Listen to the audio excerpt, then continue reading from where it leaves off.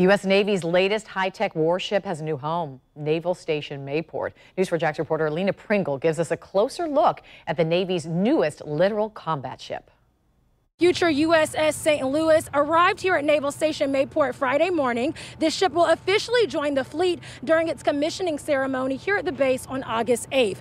The commanding officer of this ship says this isn't just an exciting moment for the ship, but also for the city of Jacksonville. Anytime you get to commission a new ship, it's it's very very exciting. Just because, I mean, you're you're introducing a new warship to the fleet. It takes a lot of work to get it done, to get it ready to go.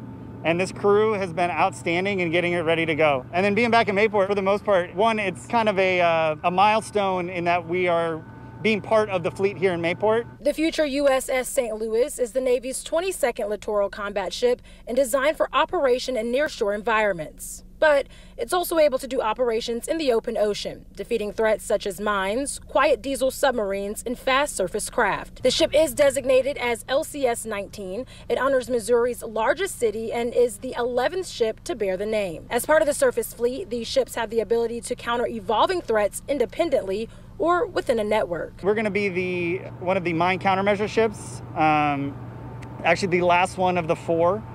Uh, and what that means is that we, in the future, we'll be bringing on uh, the uh, modules and equipment uh, in order to do mine hunting and mine sweeping. In addition to working on the new high-tech ship, this crew of roughly 70 sailors is also just as excited to be home with their families. It's great, great being back in Mayport. Everybody's back with their fam, going to be back with their families as soon as everybody gets off the ship. Uh, so it'll be uh, uh, it'll be great to see everybody. I'm looking forward to seeing my wife and kids. Before docking at Naval Station Mayport, this crew sailed from Marinette, Wisconsin, where the ship was made. Reporting at Naval Station Mayport, Lena Pringle, Channel 4, the local station.